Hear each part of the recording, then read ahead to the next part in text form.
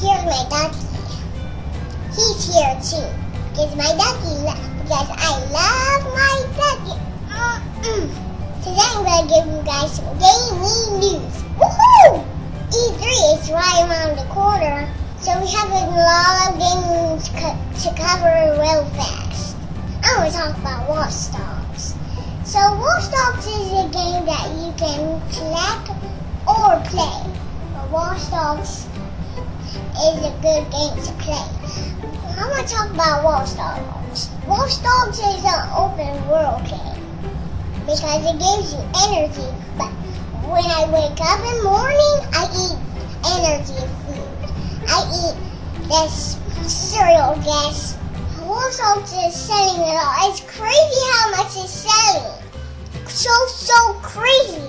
I mean, Watch Dogs, it's it's the best game ever, but crazy.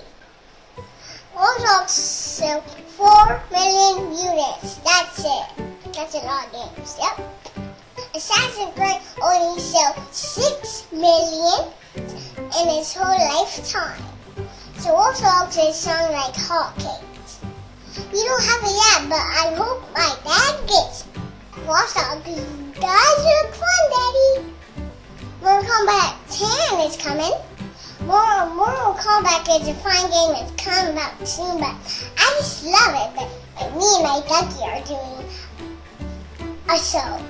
But Batman Arkham Knight got delayed till 2015. That's bad news for everyone who wants to play that game. Because I love that man. That man's my favorite one. Xbox One is gonna get to freaking about time, Microsoft.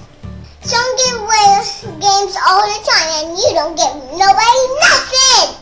It's about time for Xbox One get free games. So the free games are Max Acusa Brotherhood and Halo Spartan Assault.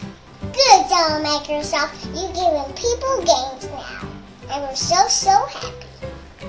But I like the PS4 more. Okay.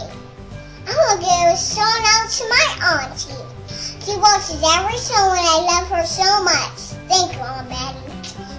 I'll see you guys next time. Bye bye.